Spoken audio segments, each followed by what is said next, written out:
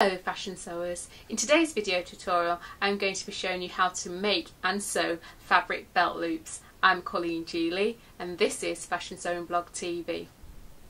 Here I've got a couple of examples of belt loops, sometimes known as belt carriers. Um, the first one is a, a denim and as I've described in the um, title it's fabric. So um, this one is top stitched and they are different they can be different widths all depending on your sewing project. And this is more on a casual pair of um, garment and that has no top stitching. So it is a matter of you know personal choice. The first thing we need to do is make the belt loops. You're going to need a strip of fabric to required length for the number of loops you're making. And also you need to make sure it's the right measurements so that you can fold it three times the width that you require and how I'm going to hold the belt loops together is using hemming tape. The next thing to do is to take your strip to the ironing board and put a crease line for your first fold, like so. And then you get your hemming tape and put it in between the selvage end and the fold. Come down and just get your iron and then press that into place all the way down.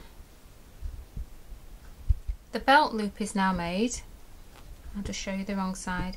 If you don't have any hemming tape, the next best thing is just to do a whipping stitch just to keep the edge um, in place. Now I'm ready to cut my belt loops. Um, my belt uh, length or width is going to be 5 centimetres which is 2 inches.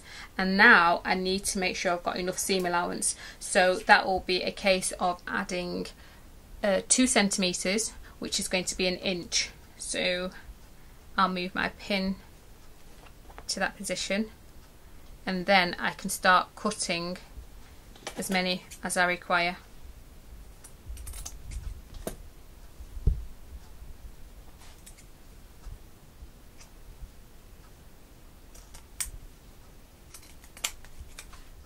I've now sewn the belt loop into the waistline on this sample here. As you can see, that's about a quarter of an inch, uh, 0.5 centimetres. That's all you need to do. This is my waistband. And now the next stitch width needs to come about a centimetre, which is about 3 eighths of an inch. So I'll sew along there because we want to make sure that when we put our belting the seam line of the waist line here is not seen. So I'm going to put a stitch there. Bring my loop to the top of the waistband. Fold that under and then stitch either along on top for top stitching effect or you can sew underneath. And there it is your belt loop so it's gone into the waistline of the garment. I've sewn it one centimetre a quarter of an inch into the garment itself and then I brought it up towards the waistband. And then I actually did a row of stitching inside of the waistband to keep the waistband in place I mean the belt loop in place. And so you've got no um, decorative stitching on that at all. And the second one I've done is here.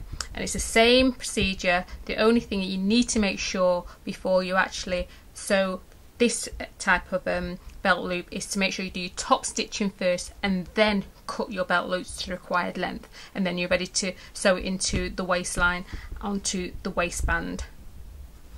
And if I just quickly just thread the belt through there you can quickly see how it looks I hope you found this video tutorial helpful. Remember that belt loops can be decorative as well as being functional. If you have any comments or queries, please put them in the comment box below.